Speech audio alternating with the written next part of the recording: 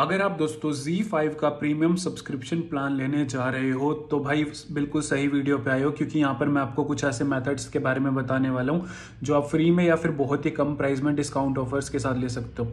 तो जो पहला मेथड है, उसमें आप जा सकते हो पेटीएम ऐप पर, वहाँ पर आप कैशबैक पॉइंट्स का जो सेक्शन होता है, वहाँ पर आपको Z5 से रिलेटेड काफ़ी सारे ऑफर्स मिल जाते हैं। और उसके अलावा आप फ्लिपकार्ट सुपर कोइन भी यूज़ कर सकते हो। अगर आप फ्लिपकार्ट पर शॉपिंग करते रहते हो ना तो आपको वहाँ पर सुपर कोइंस मिलते रहते हैं। तो आप सुपर कोइन वाले सेक्शन में जाओगे, वहाँ पर भी आपको Z5 से रिलेटेड ऑफर्स मिल जाते हैं। दूसरा जो मेथड है दोस्तों, कई, काफ़ी सारी ओ टी कॉम्बो वाली एप्स होती है लाइक वाचो टाइम्स प्राइम वगैरह।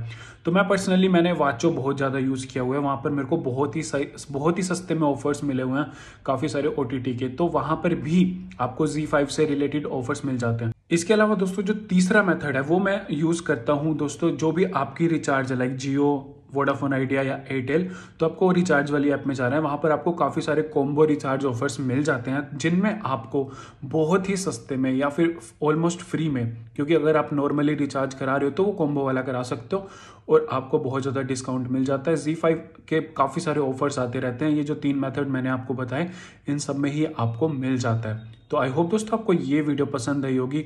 अगर आपको पसंद आई है, इससे कुछ भी हेल्प मिली है तो वीडियो को लाइक ज़रूर कीजिए और चैनल को सब्सक्राइब कीजिए। मिलते हैं दोस्तों नेक्स्ट वीडियो में।